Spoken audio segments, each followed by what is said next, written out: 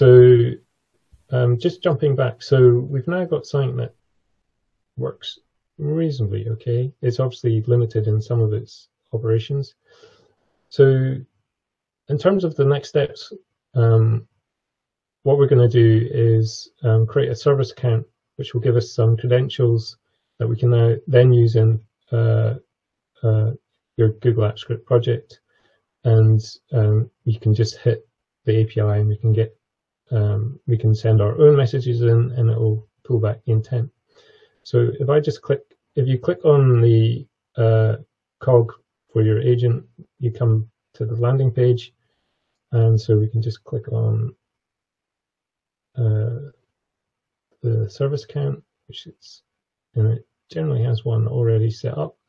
So you can see it's already integrated because it's a Google product. It's straight into uh, uh, the cloud platform. So we're just going to create a service account. I'm going to call that, uh, let's call it.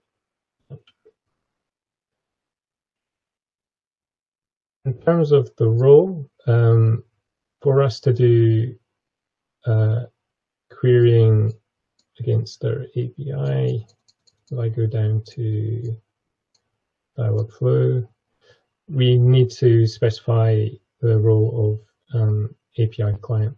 Um, so that uh, will enable us to query our agent and get some data back, hopefully. So what I'm going to do here is I'm just going to create a key and I'm just going to download it. So this is uh, where the, the magic of um, Bruce's Goa um, OAuth 2 library comes in. I've downloaded the key. Uh, I can click done, which I usually forget, and then wonder why things aren't working. So all I'm going to do is just dump this JSON into Google Drive. So this basically has the credentials we need um, to access the API. So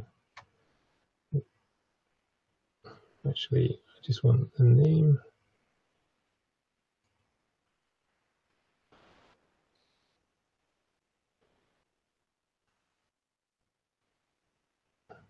So I've started a project here and it's got some of our code already in it.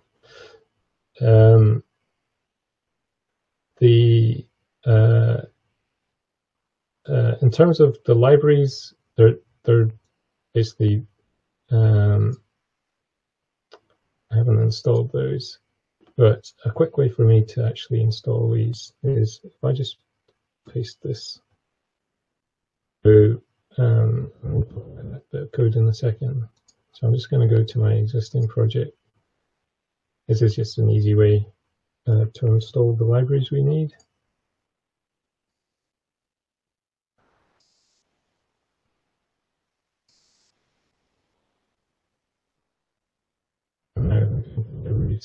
we've got and we've got Dialogflow. So Dialogflow is um, a client library uh, I've produced from Spencer Easton. Spencer Easton has a, a generator for Google APIs. So, and as I mentioned, we've got Bruce, Bruce's Goa in here as well.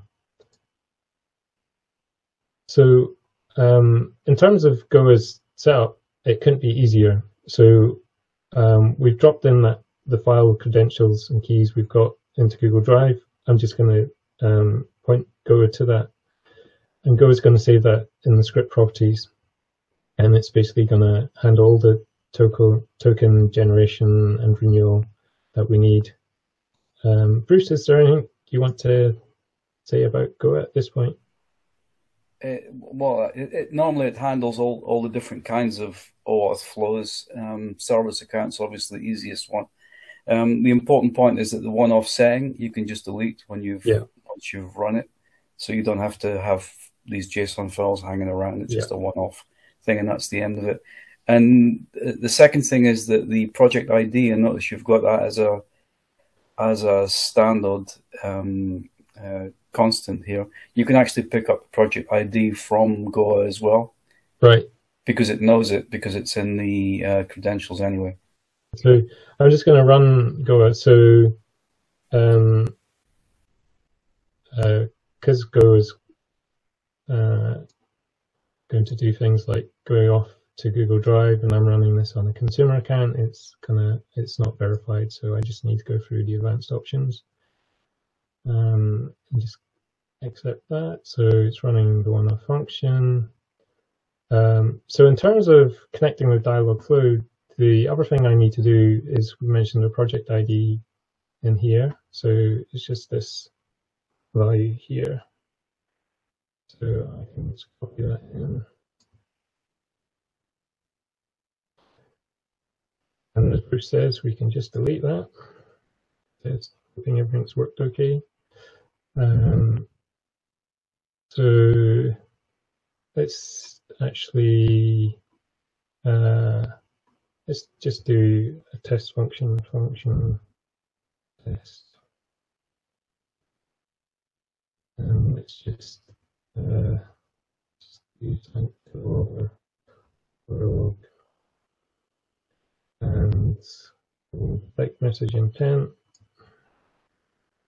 and we'll send one of our training phrases in.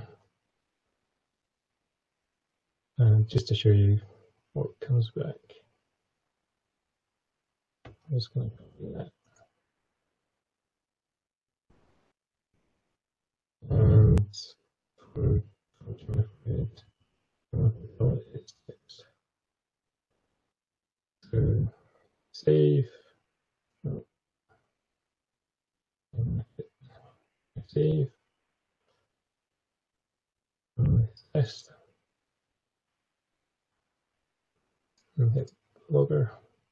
So you can see it's come back with um, some JSON. So uh, it, you, you, can see the query text that we've sent in, and uh, you can see the parameters, in fact.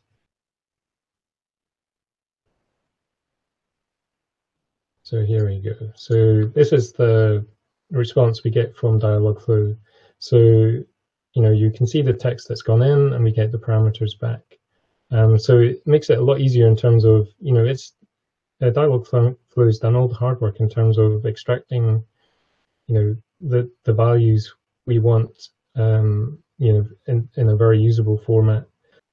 And that's really essentially how the, the demo is working. So all that we've done in the example is just add a bit of view